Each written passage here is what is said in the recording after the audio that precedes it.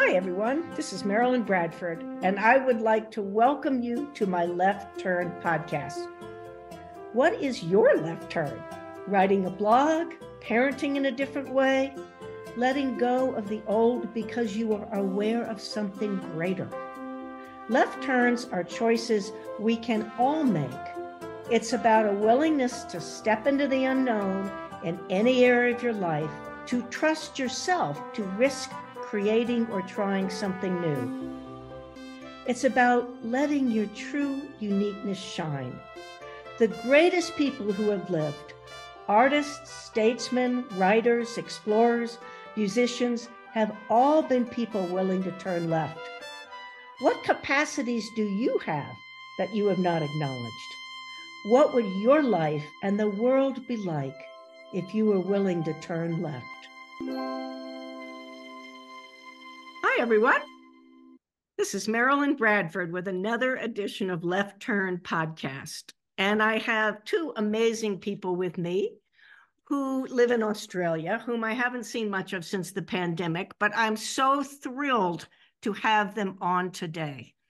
I know these people through Access Consciousness, and I know them because they have inspired me with their approach to business, to living, um, to changing worldwide companies, which they do through all of their left turns, which just seems like natural to them.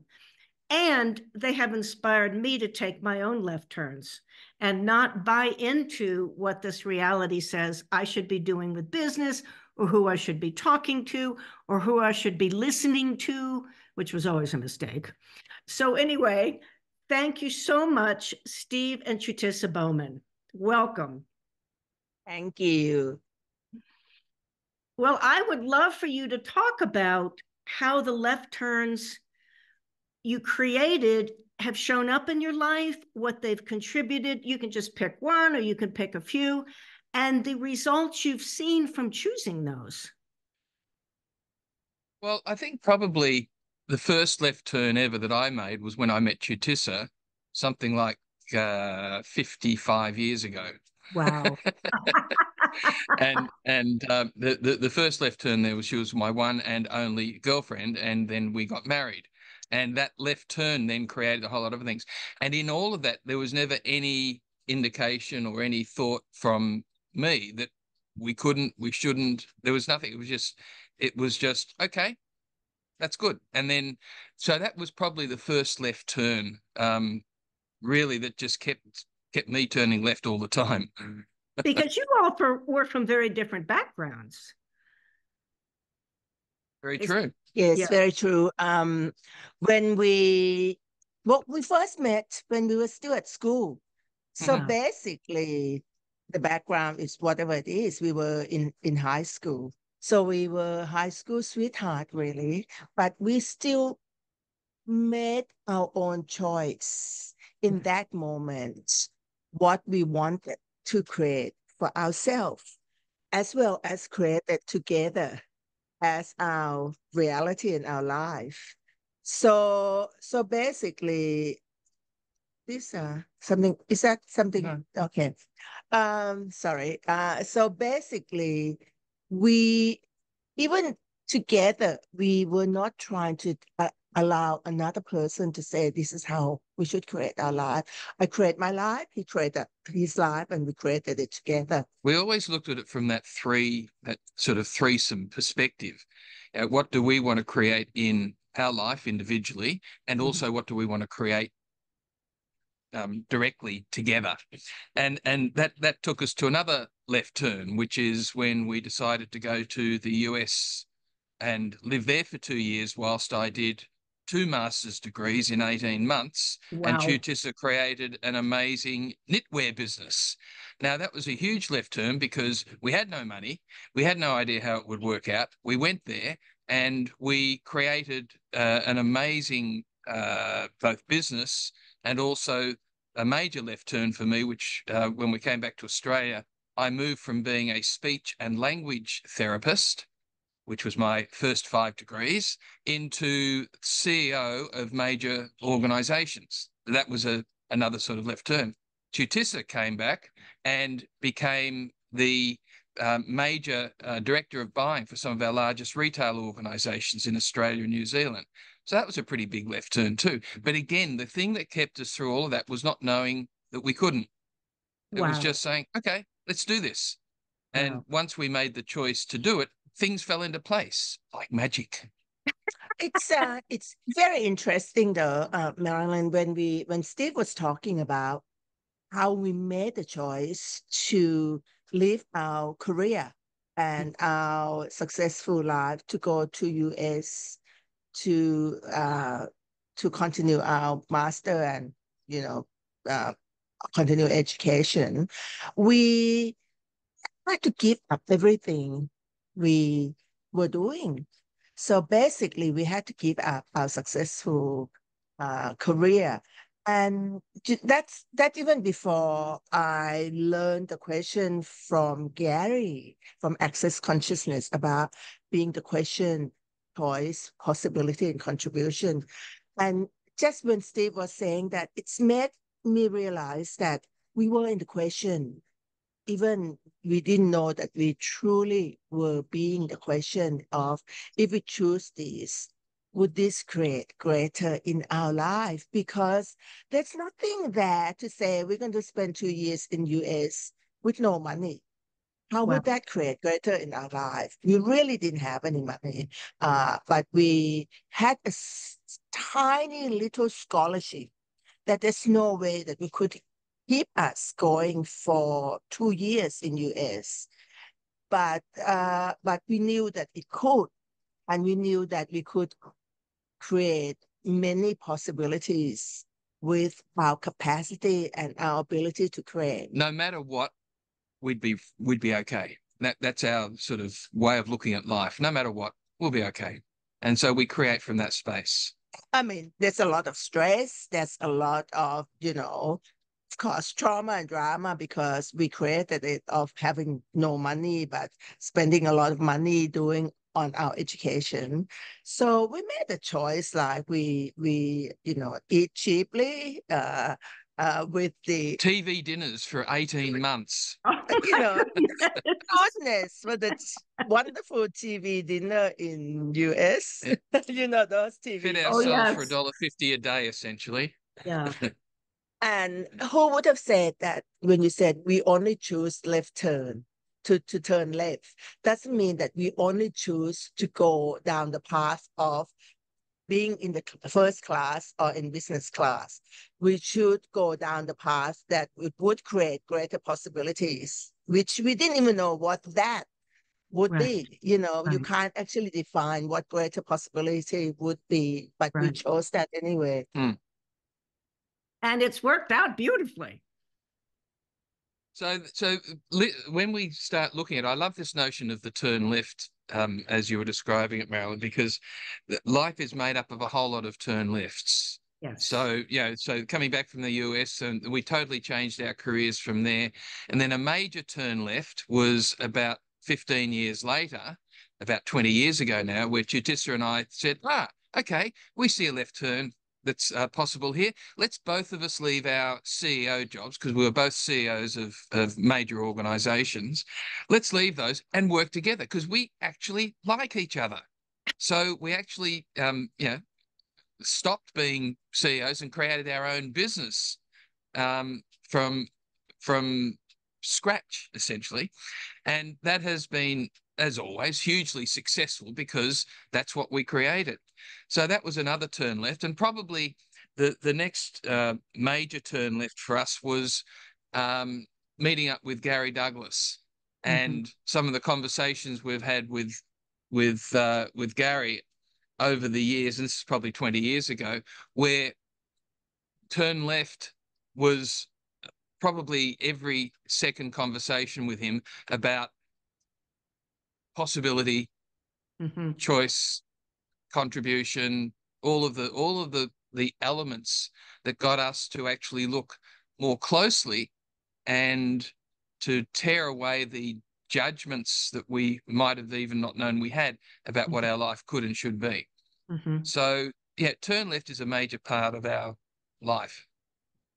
it's um, you know, when Steve was talking about when we left our second second turning left when we left our career after we came back from US and yeah. we became a CEO of different different uh, um, jobs and different industry. Um, by then, I was um, participating and attending Access Consciousness yeah. uh, for about what five, six, five. seven years, yeah. and I had a lot of tools then. So when we turn left the second time in our life, in, in our career, we're actually doing it from conscious awareness. We mm. had questions to talk about. We have uh, choice that we can choose. So we actually function from question, choice, possibility, and contribution That Mm-hmm. Truly did that, not from, oh, I'm so bored with what we're doing, let's do it, or just going from a space of, oh, you know, what what things have to change. Things have to change. So know, we actually the pain are... is too much. We have to change. We've never created any of that. So we function from what else is possible and mm. what else can we add to our life and what can we be and do different to change all of that. So those were the questions that we we constantly asking mm. before we actually say, uh, it's now the time for us to actually be together and work together and actually um, you know form the business together. And we couldn't and we couldn't comprehend how we can actually come up with a business you know ideas or anything but we knew that if we make that choice it would create something even greater. I think the the key thing for us for for those who are listening here the key thing for us that made this easy and joyful to do every single time was pretty much the attitude that we take of, eh, why not? I love it. It's got rather than trying to sit down yeah. and plan everything. Yeah, uh-huh. why not? Why not? Well, and mostly for many people in Access, you two are known for speaking to high powered CEOs or business groups and giving them new ways to to operate. I'd love to hear you talk about that, both what you uh, kind of inspire them to and what have been the pushbacks or what keeps people from i mean you all have such an amazing attitude of possibilities in life it's it's really as i said it's always been inspiring how has that played out in the corporate world and with the people that you uh, talk with, uh, the teams, the CEOs? Well, it, we have probably one of the most successful businesses in the Southern Hemisphere when it comes to advising boards and uh, senior executive leadership teams. We're, we're very, very well known. Um, and one of the main reasons for that is that one of the things that we realized on very early was a, a, question that Gary asked us many, many, many years ago, which is what is the one thing that you do so well that you do not value mm. and therefore assume others will not value it? And it took me personally about five years to have a deep understanding what that was. And it really came out to I like things to be easy. and and one That's of the awesome. and and one of the things that people pay an awful lot of money for is where you can take what they see as complex and actually create it and reframe it in a way that mm-hmm. it actually is simple. It mm. can be complex and simple, or it can be hard and simple. So if you think it's hard, you'll create all the things that make it hard. If you think if you know it's complex, but you think it's actually simple, then you start to look at ways that create the biggest change with the least amount of effort. And that's really what we do. So we do governance reviews, we do strategic planning, mm-hmm. we come into organizations where they want to move up to the next level and not quite sure what that means. And we're able to sit down very simply and say to them, hey, look, you need to be more focused on creating the future. Mm. Really? Wow. Send me an invoice. So, you know, it's it's really just taking that point of view that um, uh, life is life is one that is full of opportunities, and the only thing that gets in our way is our points of view. And part of our job is to get people to see that there are other points of view that they potentially could take that might make them and their staff and their communities actually um, have greater impact? I think the willingness to be different, Mm. willingness to not fit in this contextual reality of how all other consultants are doing. I think Mhm. that's what made us different and make us uh, desirable for the people uh, who work who who have chosen to work with us. And I don't think they even knew a lot No. of time why they they have chosen to engage us. But you know, most people understand the energy, even though we're charging them a lot more than what other consultants are doing. But Mhm. they, even though we we haven't taught them yet about being the question or anything, but most people understand, okay, this would create more for them. So they made the choice to to accept to Mm. choose us. And when we first started in consulting business, I said to Steve, let's not go down the same path of doing the tendering, do pitching, do any of those. i said to Steve, what would it be like if people come and, you know, request to work with us? What would it be They like if they have to pitch to us. instead Wow. of us pitching Yes. to them? Mhm. And that was just a, a, a, a question that to the universe. What would it take for us to be a choosing one, not a chosen one? That's how the whole thing started. Big left turn Choosing that one. and chosen in in term of we use that in everything, even in talking to our clients that stop tr- being there and trying to be a chosen one. Make the choice to be the one who choose in everything. The energy of the chosen one is one who is a victim who will always be waiting for the other shoe to drop and worried about life in general.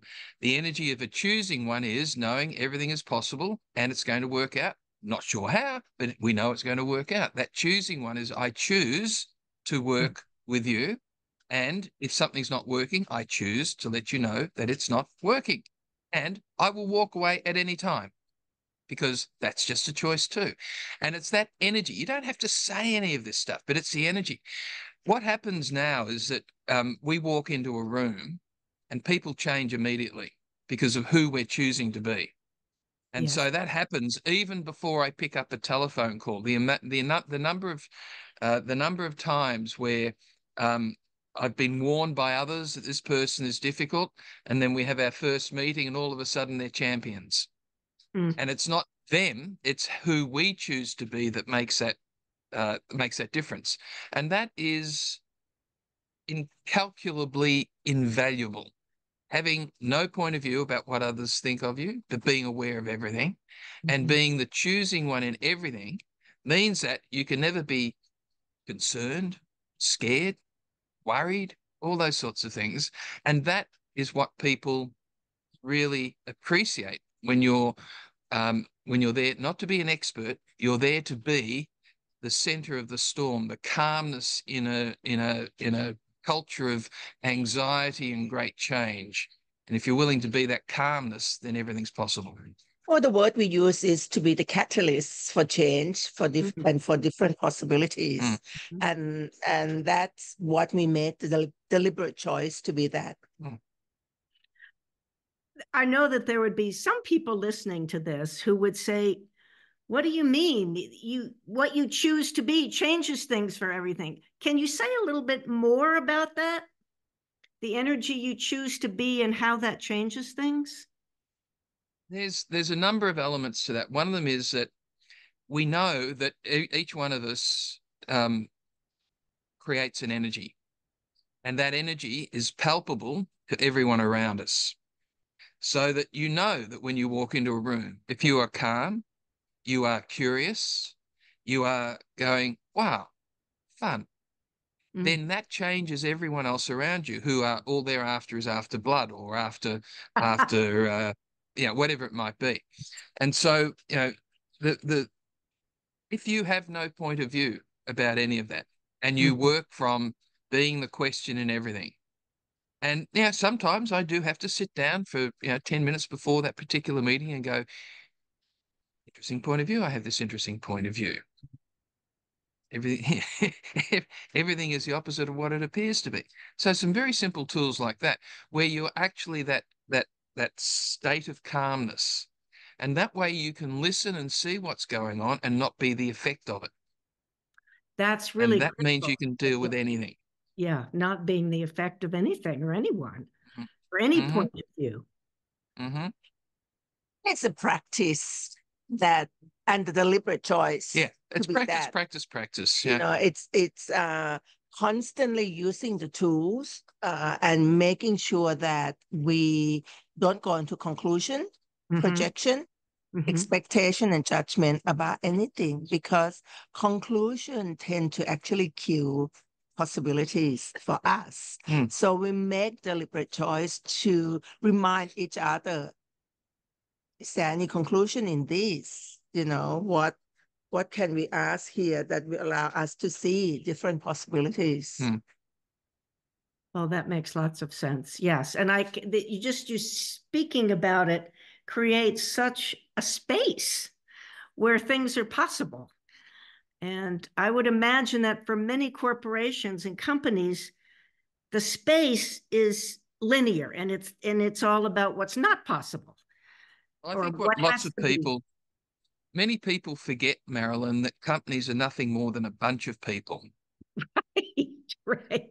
And if you if you think of them just as a bunch of people, and some of those people are going to be awesome, and then there's the other 98%. Right.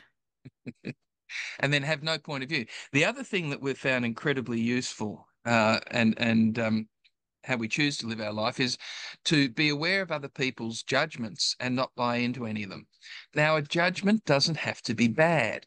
Mm-hmm. If someone judges me as an expert, mm-hmm. I don't buy into that. Ah. You don't take because on the positive bought, judgments either. If I bought into that judgment, I would then have to be an expert. Right. To meet that judgment. Wow. Yes. if someone if someone has the judgment that I don't know what I'm doing, I'm aware of that. I don't have to buy into it. Right. Do I know what I'm doing? No, but it's not a judgment. Right. I think you mentioned that we work with uh, the top uh, top of the the organization.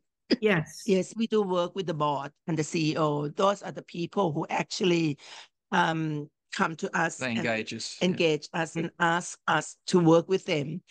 Quite often, they come in and said, uh, "Our our organization, the business not working. Can they come and fix it?" Then Steve will let them see that there are different possibilities, and it's not about us fixing it. It's about mm-hmm. us uh, being the catalyst for them to let go of the fixed point of view yes. about how things are supposed to be, to let go of conclusion, projection, expectation, and judgment about what's not working, and start being the question about what choice do we have here? Uh, do we have any conclusion in what we have judged that's not working? So mm-hmm. a lot of time when we go into the organization and working with the board, we don't actually go in and tell them how to fix anything. Right. We often go in and ask them lots and lots and lots of questions. I've seen your mm-hmm. strategic plan. You have 17 strategies. Do you think maybe that's a little too many and maybe we could make that a little bit simpler? What if we just chose the hmm. top three things that actually are going to make the biggest difference here and we focus on those in the next three years? Let's have a chat about that, shall we? There are a lot of pushback from mm-hmm. people who have a lot of fixed point of view because they've been functioning from that space for a long time. Mm. So they they will, you know, and and Steve loved people pushing back because that's, that's giving access to, you know, I I'm I'm just had to develop patience and allowance and you know interesting point of view but he loves it he loves when when when people push back he enjoyed the, the session a lot more. Mm. Well, I'm sure it's a bit of a challenge when they push back in a fun way. Yeah, probably not so much a challenge as I get to see what their points of view are ah. and then ah. can create greater change by uh-huh. listening to them uh-huh. and reframing things in a way that they all of a sudden become champions for the change that that is possible rather than the crusty old person who was always going to say no and is on fraud patrol right um, and then and then sometimes there's just people that that will never happen and understanding those then you know you go around them i've got one at the moment who's a, a, a vice president and i know what she's like i knew within three minutes what she's like so we just go around her amazing Amazing. You make it sound. don't expect them to change either, Marilyn. Uh-huh. Since he goes in and he used, I mean, we used our awareness of who this person actually choosing to be. Yes. And the, the key thing is never expect them to actually change. Mm. Uh. If yes. they don't, then we, we go around them. Yep. Yeah. Well, you make it sound easy. And yet I think it is just a brilliance that you both be. Uh, oh, thank you. A willingness to change the world, really. Um, if if someone was listening to this and they said, "Well, how do I even get started? How do I create um, this being that's uh, can create change with such ease?" If you have uh, just one, two, or three tips for people, um, what would they be? for me, I'm just talking for every person's different. Yeah. So. This for me is I made a deliberate choice to embody and be that. So ever since I've learned question, choice, possibility, and contribution, those are the the principle, the key tools that I actually uh, deliberately create my life with. I made the choice to not go into conclusion by anything. So, and I still do go into conclusion, but uh, I'm, I don't sit in that conclusion for a long time. Uh-huh. I'm able to actually look at hmm, how many conclusions do I have here? And if I don't have it, what other choices do I have here? So by using these two for the past 15, 20 years, uh, it's it's become a lot easier for me. But you know, it's a choice that we had to make to use the tools, and and we use the tools with one another. So if I observe that there's some choice that Steve made that gone to conclusion, we give we gave each other the uh, the permission to actually say, are there any conclusion in this, and uh, what else is possible? Mm-hmm. Beautifully put. Thank you, Chutisa. Do you want to add to that, Steve? Or um, for for me, I tend to go into conclusion relatively easily, and Chutisa is is very um, good at being able to remind me that being the question is probably uh, going to create something even greater for me. So the uh, key thing for me is really to have no point of view mm. about the points of view that I have on things. Mm. And that doesn't always work because sometimes I've got points of view I don't even know I have. Mm-hmm. But often when I have a point of view that is getting me locked up on something, then sometimes I just find it just as easy to say, well, what if I didn't have that point of view? And then it goes. Wonderful. So that's probably that for me the key the key thing that's helped me in all sorts of different situations. Well, I love that. Thank you all both so much for coming on, for taking the time, and just for the amazing beings you be and what you've been bringing to the world. You're most welcome, but we enjoy, I mean, it's been too long and we love, you know, seeing you in classes and enjoy, you know, connecting. So when you ask us, we of, of course we will say, of course, we would say yes. It's Marilyn. Marilyn. I'm so glad. I am so glad and hope to see you all soon somewhere. Somewhere, yes. Thank you, Marilyn. Thank you. Thank you. Thank you so much for joining this episode of Left Turn. I wonder what embracing left turns could create in your life. What magical possibilities might show up. Remember, when you choose left turns, you are joining a group of the most creative and brilliant people the world has ever known.